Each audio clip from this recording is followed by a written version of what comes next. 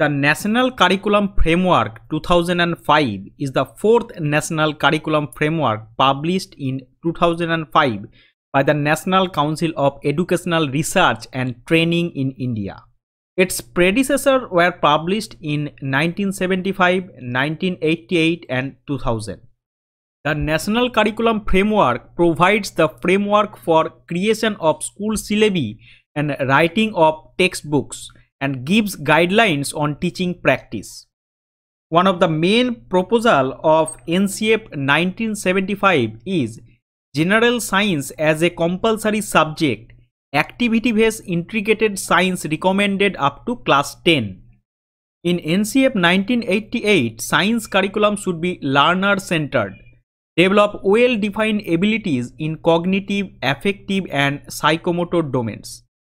In NCF 2000, the teaching of science and technology in upper primary and secondary part of environment studies in primary recommended.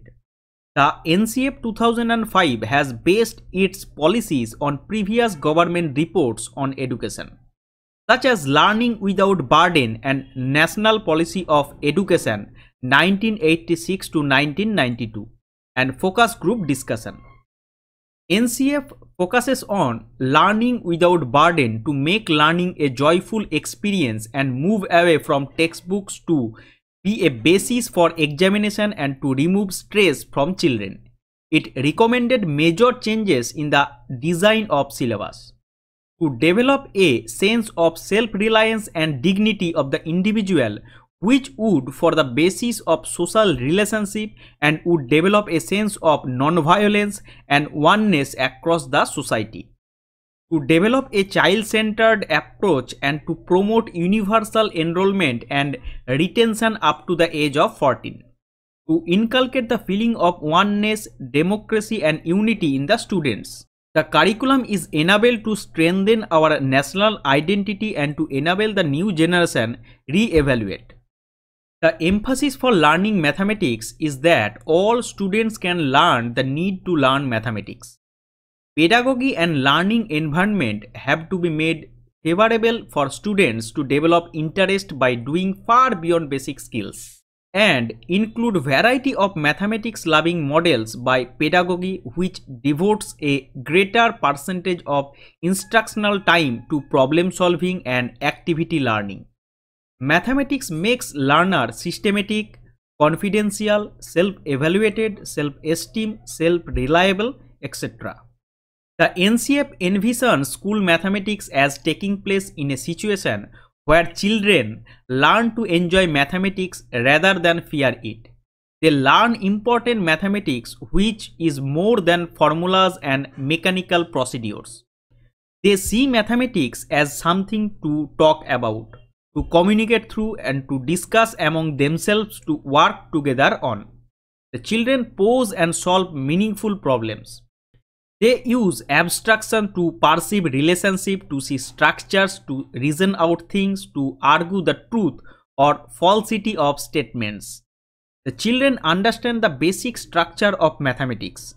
Arithmetic, algebra, geometry and trigonometry, the basic content areas of school mathematics all of which offer a methodology for abstraction, structurization and generalization.